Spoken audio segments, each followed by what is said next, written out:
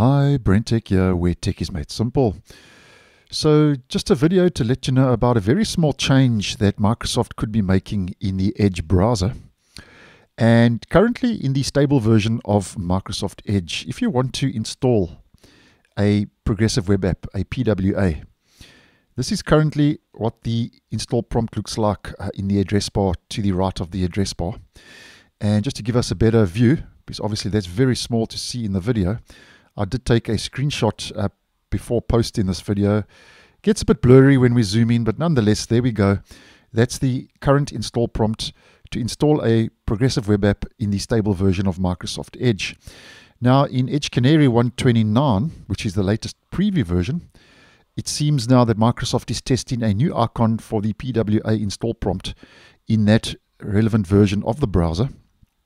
So, like most features in the Canary browsers, um, we have to enable an experimental flag because it is still early days.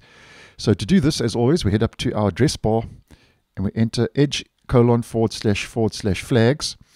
And the easiest to bring up the relevant flag is to enter icon uh, in the search field.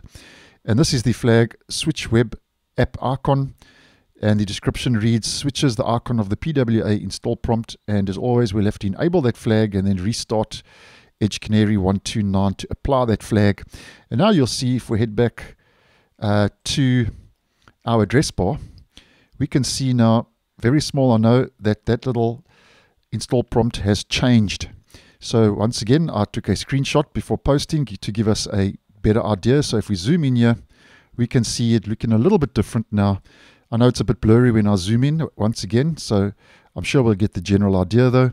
There we can see it's like a little computer screen and monitor with a um, download sort of arrow or install arrow pointing down. I don't know if you can see that correctly in the video. So that's just a quick video about a small little update that could be coming to the actual Edge browser. And I did check before posting when you actually click on that to install the the web app nothing actually changes for the menu. The description, uh, the UR, the dialog, the menu, everything stays exactly the same. It's just the little install prompt icon that could be changing. And just wanted to bring that to attention in case you are using Microsoft Edge. So thanks for watching, and I'll see you in the next one.